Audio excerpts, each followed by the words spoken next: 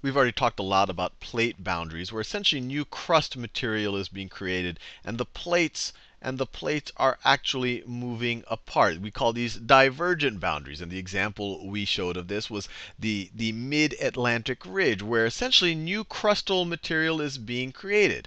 Now on the other side of the equation, you have areas where plates are ramming into each other. We see that over here where the Nazca plate is running into the South American plate. We see it over here where the Pacific plate is running into is running into the Filipino plate. They're running into each other. So what happens over there?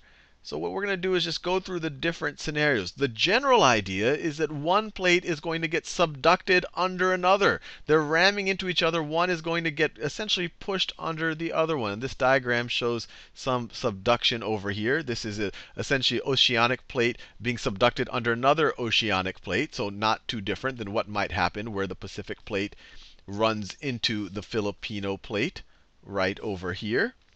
And then on this side of the diagram, we see an oceanic plate and the oceanic crust getting subducted under a continental plate right over here.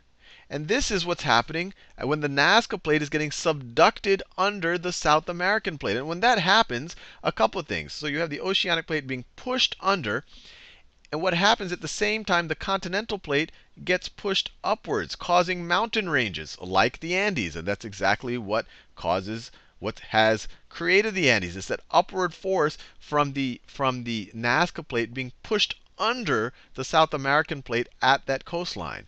And what you're also going to see is and you can imagine you have these huge plates grinding past each other, and it's not a, a, very smooth process. Every now and then you kind of reach a breaking point, and huge amounts of energy and huge amounts of energy get released. So you're also going to see a lot of earthquakes in those areas, and you can and we know that Chile has a lot of earthquakes.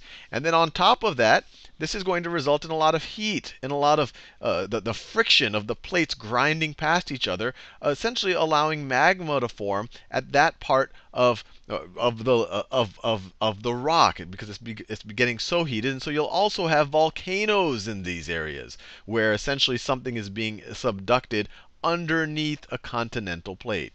Now, we also talked about what's happening in the Pacific, where we have the Pacific plate being subducted under the Filipino plate. That's what we kept keep referring to over here. And that's doing a couple of interesting things. Whenever you have subduction, you have trenches. But it's most interesting, or at least in my mind, the, the deepest trenches have been created where you have an oceanic plate being subducted under another oceanic plate. So a couple of things are going to happen. You're going to have a very deep, you're going to have trenches form you're going to have a trench form over here. We see in this diagram we also have a trench in the first example, but you have trenches form where the oceanic where one oceanic plate is being subducted under another, and then you have that same type of friction that you saw over here create volcanoes, and those volcanoes will initially be underwater volcanoes since these are both oceanic plates or we're kind of we're, we're dealing with oceanic crust at that point of the plate. It doesn't have to be entirely an oceanic plate. And they'll first be underwater volcanoes, but as the lava piles up and hardens, it'll eventually turn into a group of islands. And we have that happening where the Pacific plate runs into the Fil Filipino plate. And first we have the trench. So let me just draw everything right here. So this is the boundary, roughly. Roughly speaking, this is the boundary between the two plates. This is the Pacific plate, and this is the Filipino plate right over here.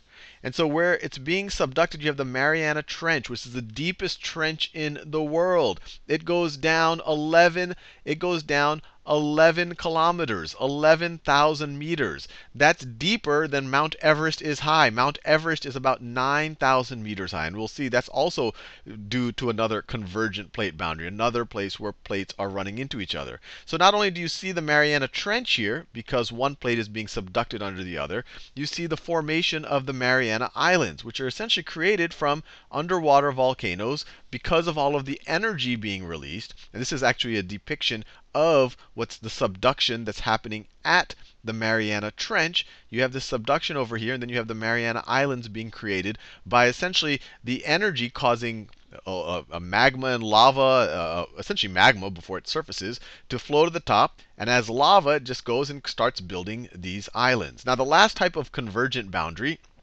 is when you have two, two parts of continental crust running into each other.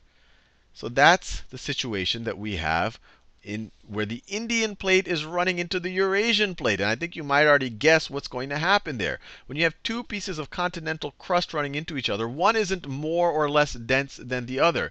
And so at least the crustal portions of them, the crustal portions of them are just going to keep are just going to keep jamming into each other. And so they're just going to push things upward. This is a depiction right here that I got from the USGS. And what's, what's what's kind of depicting is this is the Indian plate, this is the Eurasian plate. This is if you if you rewind a good bit before they've really had a chance to jam into each other. But as they're jamming into each other, the Indian plate is kind of digging in a little bit, not being fully subducted, and it's causing the land to rise. And what that essentially ends up with is you end up with something like you end up with something like the Himalayas. And this right here is a picture of Mount Everest, which is almost 9,000 meters high, 9,000 meters above sea level. So it's almost as high as the Mariana Trench is deep.